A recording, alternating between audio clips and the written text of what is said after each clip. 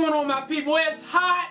It's fuck. I'm tired of this 80, 95 degree weather. What did I just say? It's No Chill Friday. The question is, how are you a thug? No, with the internet, we see comments all over the place. We, you know, we, we running up against some of the hardest people ever. I surely wouldn't want to meet any of these dudes because they have to be thugs the way they talking. How you a thug and you drink hot chocolate while wearing a snuggie in the wintertime? How you a thug and you forgot your keyboard and mouse? How you a thug and you out here ordering raspberry lemonade? I have a raspberry lemonade with lemon, please. How you a thug, Slim Jesus? No, I'm just playing, bro. Don't shoot.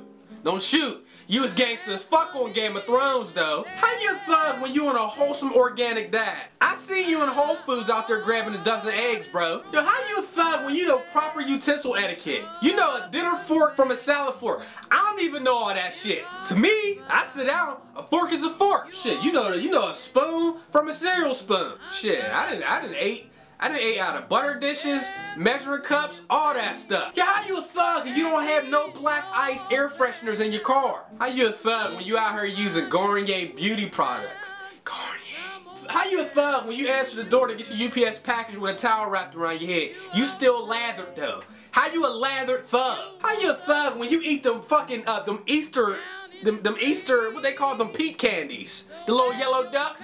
Them yellow ducks is nasty as fuck, yo. How you a thug and a part-time Uber driver? How you a thug and you play in the flag football league? How you a thug and you work at Six Flags? Thank you, thug. Tell your dumbass get arrested, go to jail. Until you run into the booty warrior and pull your motherfucking pants up, man. Y'all sitting on a fucking stool. I mean, you sitting, you got your whole ass on a stool. How you a thug when you look both ways crossing a one-way street, though? You wanna know what a thug is? That dude Tom Brady. The dude don't do no telling.